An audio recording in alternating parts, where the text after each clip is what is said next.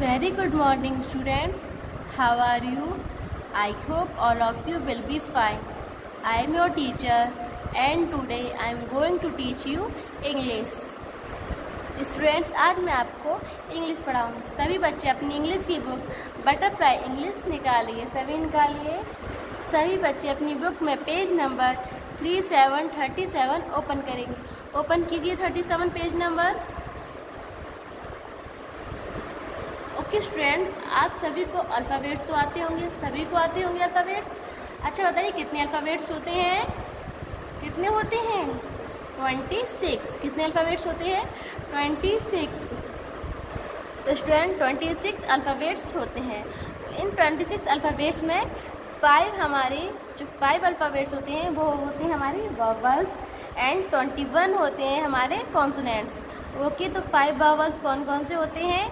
A E I ओ और you कितने होते हैं? फाइव कौन कौन से? A E I O U okay और ट्वेंटी वन हमारे कॉन्सोनेंट्स होते हैं.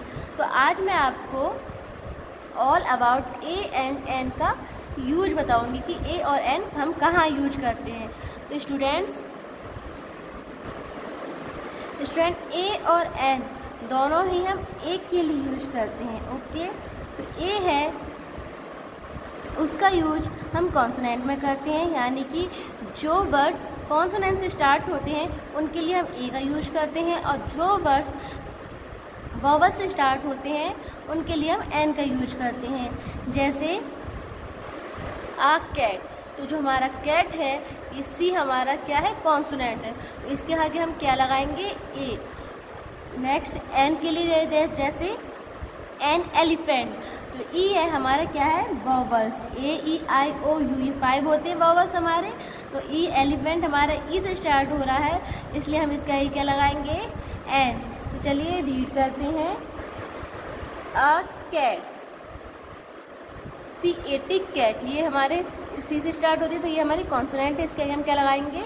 A okay next a man M भी हमारा कॉन्सोनेंट है इसके आगे भी हम ए लगाएँगे।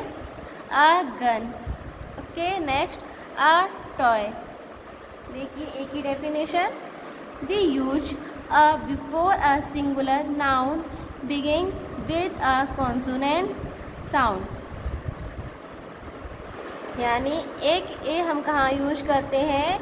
जो सिंगुलर होते हैं और जो कॉन्सोनेंट से स्टार्ट होते हैं, उसके लिए हम ए का यूज़ करते हैं। ए उससे पहले लगा देते हैं। ओके देखिए एन की definition we use an before a singular noun beginning with a vowel sound okay जो वॉवल साउंड आती है, जिसमें जो वर्ड की, जिनमें वॉवल साउंड निकलती है, उसके आगे हम क्या लगाएँगे? एन का यूज़ करते हैं। ओके तो एन एप देखिए। एन एप्पल ए है, ये हमारी क्या है? वॉवल है।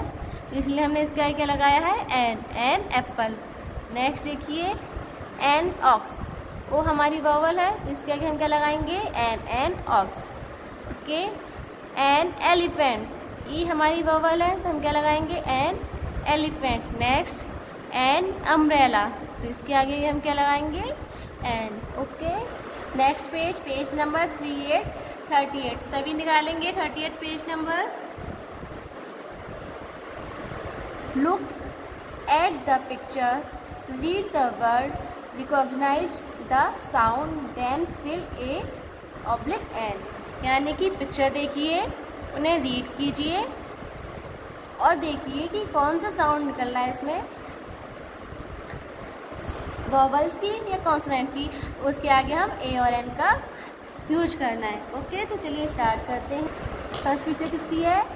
एरोप्लेन तो एरोप्लेन के आगे हमें क्या यूज़ करना है? ए या एन बताइए वॉवल्स आएगा कॉन्सोनेंट ये हमारा क्या है? वॉवल है? कि कॉन्सोनेंट से बताइए। Vowel A E I O you तो ये हमारा क्या है? वॉवल। तो हम वॉवल्स के आगे क्या लगाएँगे? एन तो हम इसका क्या करेंगे? A an an aeroplane next उसे देखिए। मंकी एम ओ एन के ई वाई मंकी एम हमारा क्या है? कॉन्सोनेंट्स तो एम के आगे हमें क्या लगाएँगे? ए कॉन्सोनेंट के आगे हम क्या लगाएँगे? ए तो A monkey a monkey next picture देखिए. Egg E G G egg तो ये हमारा क्या है? बबल है. तो इसके आगे हम क्या लगाएँगे? An A an next picture देखिए. फ्लैग फ्लैग एफ़ हमारा क्या है? कॉन्सोनेंट्स है। इसके आगे हम क्या यूज़ करेंगे? A next picture flame L भी हम क्या है? हमारी कॉन्सोनेंट्स है तो इसके आगे हम क्या यूज़ करेंगे? ए नेक्स्ट देखिए. इंक पॉट आई हमारे क्या है? कॉन्सोनेंट्स है? नहीं. वॉवल्स है. इसके आगे हम क्या यूज़ करेंगे? An next picture word P क्या है? कॉन्सोनेंट्स है तो इसके आगे हम क्या यूज़ करेंगे? अ नेक्स्ट पिक्चर देखिए. ऑरेंज वो क्या है? बवल है.